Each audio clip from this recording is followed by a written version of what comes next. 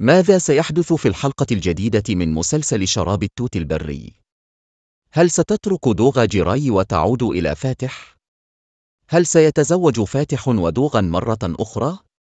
هل سيقع عبد الله في حب مريم هذه المرة أيضا؟ هل سيتم الكشف عن وجه جوركيم الحقيقي؟ سأشرح لكم كل ذلك في هذا الفيديو أيها الأصدقاء بادئ ذي بدء إذا كنتم تريدون أن تنفصل دوغا عن جيراي في أقرب وقت ممكن.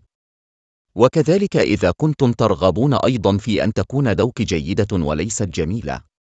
فلنضغط على زر الإعجاب أدناه ونرى رقمنا. في الحلقة الجديدة من مسلسل شراب التوت البري. ستبدأ دوغا تدريجيا في رؤية وجه جيراي الحقيقي. في الواقع في الحلقة القادمة سترى دوغا علاقة حب بين جيراي وهيفيز. ستذهب دوغا إلى بيت أمها بعد الحقائق التي تراها وتسمعها. في الواقع سنرى جميعا أن دوغا ستطلب المساعدة من فاتح للتخلص من جيراي. أيضا في الحلقة الأخيرة الشخص الوحيد الذي لن تلمسه جوركم هو مصطفى. لنفترض أنه في الحلقة القادمة سيكون مصطفى مع المرأة الجديدة التي سيلتقي بها بسبب جوركم.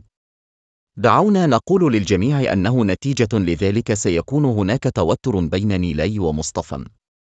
لكن الجندب يقفز مرة واحدة ويقفز مرتين ويتم الإمساك به في النهاية.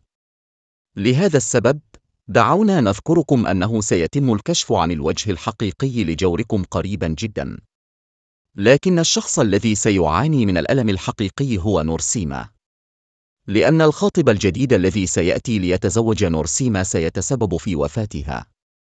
ومن ناحية أخرى سيبدأ عبد الله بك في علاقات حب جديدة. لأنه في الحلقة الأخيرة وقع عبد الله في حب مريم. ولهذا السبب يمكننا القول أن حربا كبيرة ستبدأ بين السيدة الوردية ومريم. لذا سنشاهد حلقة مثيرة في الحلقات القادمة. إذا، هل تعتقدون أن دوغا وفاتح سيتزوجان مرة أخرى؟ سأنتظر تعليقاتك أدناه. وبهذا نكون قد وصلنا إلى نهاية هذا القسم أيها الأصدقاء للمزيد من الفيديوهات. لا تنسوا الاشتراك والإعجاب وتفعيل التنبيهات وترك تعليقاتكم. اعتنيوا بأنفسكم، نراكم مرة أخرى.